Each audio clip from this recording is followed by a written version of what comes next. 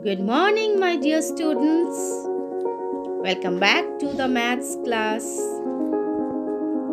Today, in the maths class, we will do some revision work on measurement. So, let us see.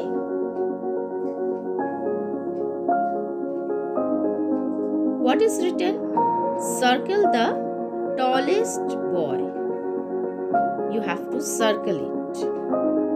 Next, circle the smallest row. Which one is smallest? Now, circle the heaviest animal. Find out the heaviest animal.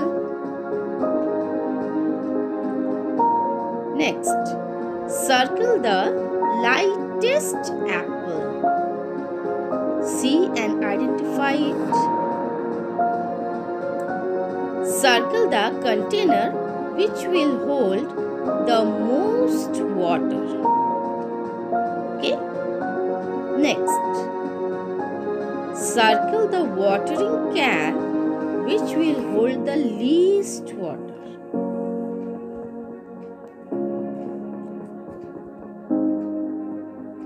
See the next one.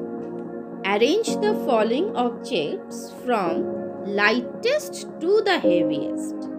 Indicate by writing letters in the boxes. So, which one is the lightest? You have to start from first. Now, arrange these buckets containing water in increasing order by marking numbers as 1, 2, 3, 4 according to the water stored in each. You have to mark 1, 2, 3, 4 in increasing order. Okay? Now let us see the next question. Which object can be used to measure the weight of a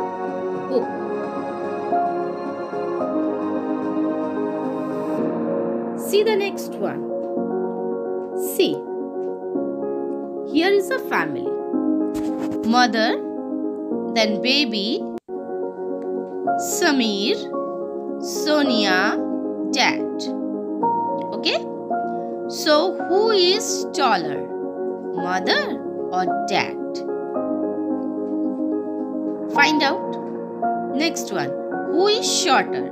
Sonia or Samir? Now compare between Sonia or baby. Who is taller? Next one. Who is the tallest? Among these five, who is the tallest? See properly. And who is the shortest? Among these five, who is the shortest? Okay? Now do all the work in your maths copy. Hope the class was very interesting. Thank you all of you and have a nice day.